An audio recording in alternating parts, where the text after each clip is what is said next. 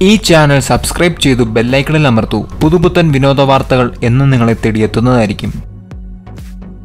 കാമുകനെ കുറ്റകൃത്യത്തിന് ജയിലടയ്ക്കാൻ സ്വന്തം യോനിയിൽ പശ തേച്ച് സ്ത്രീക്ക് ഒടുവിൽ പത്ത് വർഷം തടവ്. സ്പെയിനിലാണ് സംഭവം. മുൻ കാമുകൻ ഇവാൻ റിക്കോ തന്നെ വീടിന് പുറത്തുനിന്ന് തട്ടിക്കൊണ്ടുപോയതായും തുടർന്ന് അവരുടെ സ്വകാര്യ ഭാഗങ്ങളിൽ സൂപ്രഗ്ലു പ്രയോഗിച്ച ശേഷം അർദ്ധനഗ്നയാക്കി ഉപേക്ഷിച്ചുവെന്നും ആരോപിച്ചാണ് വെനേസ എന്ന യുവതി രംഗത്തെത്തിയത് എന്നാൽ സി സി ടി വിയാണ് വെനസയെ ചതിച്ചത് പശ വാങ്ങുന്നതും ചൈനീസ് സൂപ്പർമാർക്കറ്റിൽ നിന്ന് സ്വയം ഉപദ്രവിക്കാൻ ഉപയോഗിച്ച കത്തുകൾ ഉൾപ്പെടെയുള്ള ഒരു തട്ടിക്കൊണ്ടുപോകൽ കിറ്റും വാങ്ങുന്നതും അടക്കമുള്ള സി സി ടി വി ദൃശ്യങ്ങൾ അന്വേഷണ ഉദ്യോഗസ്ഥർ കണ്ടെത്തിയതോടെയാണ് വെനേസയുടെ കള്ളക്കളി പൊളിഞ്ഞത് കറുത്ത കാറിലാണ് തന്നെ തട്ടിക്കൊണ്ടുപോയതായി പീഡിപ്പിച്ചെന്നാണ് ബനേസ പോലീസുകാരോട് പറഞ്ഞത്. എന്നാൽ ആക്രമിക്കപ്പെട്ടതായി അവകാശപ്പെടുന്ന സ്ഥലത്ത് അവിടെ നിന്ന് ലഭിച്ച സി സി ടി ദൃശ്യങ്ങളിൽ ആ സമയം കടന്നുപോയ ഒരേ ഒരു വാഹനം ഒരു ലോറി മാത്രമായിരുന്നുവെന്നും അന്വേഷണ സംഘം കണ്ടെത്തി. മുപ്പത്തി റിയോയ്ക്ക് കടുത്ത അവഹേളനമാണ് ജന്മനാട്ടിൽ നേരിടേണ്ടി വന്നത്. ബ്ലൂ ലയർ എന്ന കളിയാക്കി വിളികൾ കേൾക്കേണ്ടി വന്ന അയാൾക്ക് നിരവധി ദിവസം ജയിലിൽ കിടക്കേണ്ടി വന്നു. ഒടുവിൽ കുറ്റക്കാരി എന്ന് കണ്ടെത്തിയതോടെ വെനേസയ്ക്ക് വടക്കൻ സ്പാനിഷ് നഗരമായ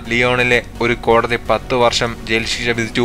ഈ വർഷം ആദ്യം ലിയോൺ പ്രൊവിൻഷ്യൽ കോടതിയിൽ നടന്ന ഒരു വിചാരണയ്ക്ക് ശേഷം ഈ ആഴ്ച പുറത്തിറങ്ങിയ രേഖാമൂലമുള്ള ശിക്ഷാവിധിയിൽ ഇരയ്ക്ക് ഇരുപത്തയ്യായിരം ഡോളർ നഷ്ടപരിഹാരം നൽകാനും ഉത്തരവിട്ടിട്ടുണ്ട്. സ്റ്റേറ്റ് പ്രോസിക്യൂട്ടർമാർ പതിനൊന്ന് വർഷവും എട്ടു മാസവും തടവ് ശിക്ഷ ആവശ്യപ്പെട്ടിരുന്നു. കുറ്റകൃത്യത്തിൽ ഇവൻ റിക്കോയെ കൊടുക്കാൻ ശ്രമിച്ചതാണെന്ന് ബോധ്യമായതിനെ തുടർന്ന് വെനേസയുടെ യഥാർത്ഥ അഭിഭാഷകൻ എമിലിയ ഇവരുമായുള്ള ബന്ധം അവസാനിപ്പിച്ചിരുന്നു. പശാക്രമണവും തട്ടിക്കൊണ്ടുപോകലും നടന്നപ്പോൾ തന്നെ തന്റെ സഹോദരൻ ഉറങ്ങിയായിരുന്നുവെന്ന് ഇവാന്റെ സഹോദരൻ റാഫേൽ പറഞ്ഞു. അറസ്റ്റിലായതിനു ശേഷം തങ്ങളുടെ അമ്മ ദിവസങ്ങളോളം കണ്ണീർ കളത്തിലായിരുന്നുവെന്നും അദ്ദേഹം പറഞ്ഞു. ഞാൻ എല്ലായ്പ്പോഴും വെനേസയെ വിശ്വസിച്ചിരുന്നു. അതിനാലാണ് ഞാൻ അവളെ ന്യായീകരിച്ചത്. എനിക്ക് അപമാനവും വഞ്ചനയും തോന്നുന്നുവെന്ന് അഭിഭാഷക പറഞ്ഞു.